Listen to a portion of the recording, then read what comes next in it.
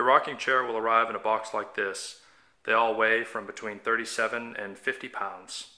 All the parts come in one box and are partially assembled. Included in the box is a pack of hardware, some wood glue, an Allen wrench, and your assembly instructions. Some customers prefer to use Elmer's wood glue. You'll also need a rubber mallet and a power drill or a screwdriver. First we're going to install these side rails into the back post of the seat back.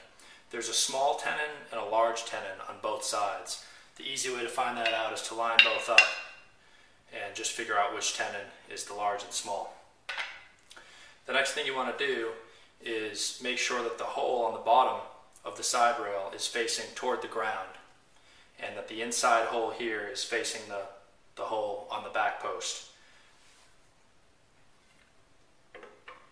Apply a little glue on the inside here, slip the side rail in, and then we're going to drill. We're going to do this for both sides. Next we're going to install the shaped side rails. There's also a small and large tenon on these pieces. And the dip, the lower dip in the shaped side rail goes towards the back of the seat.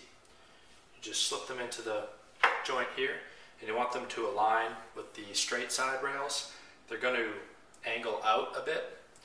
If you have them installed wrong, they'll angle in or they won't line up with the side rails. So just watch for those details. Next, we're going to install the seat front. There's a couple of joints here that line up with our straight and curved side rails. Just fit them all together.